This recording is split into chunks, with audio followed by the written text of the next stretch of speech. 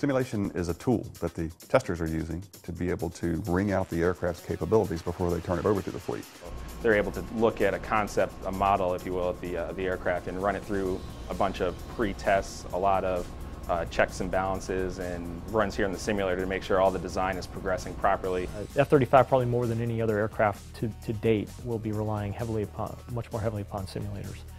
That's important from a, a safety perspective, that's important from a cost perspective, uh, and uh, the fleet will certainly utilize that capability that we're developing here. The simulation as delivered can model the A, B, and C variants. It can do shipboard environment, it can do cat launches, arrestments on land or at boat, STOVL ops. The F-35 simulator is supporting uh, specifically ship suitability work uh, in our preparations to get to the ship.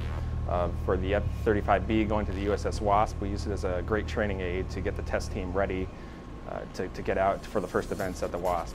We, when we go out in, in the aircraft, the, uh, the predictions that the uh, flight test engineers give us that we verify here in the simulator, uh, they're really spot on when we get out there actually in the environment and, and start uh, moving the stick and pushing the rudders. It gives us a lot of confidence when we go out there the aircraft that it's going to respond the way we, we think it's going to respond. When we were preparing for the first landing on the USS Wasp, the training that we did over here at the Manned Flight Simulator gave us a chance to practice. We only had one shot to really do the first landing on the USS Wasp correctly, and so we practiced for that and it turned out that our first landing on the Wasp was just exactly like we practiced. You have that mental picture when you go in there.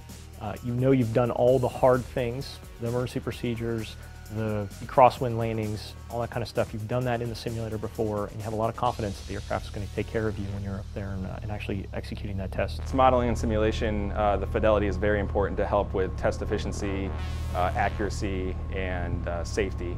Having the more accurate models here makes it more like real life. It gives us the chance to practice things here and make sure that when we actually get to the real game, we know what we're doing. Simulators play major roles in providing safety of flight during flight test and optimizing cost of flight test. What you can sim that you don't have to fly, you've saved a dollar on.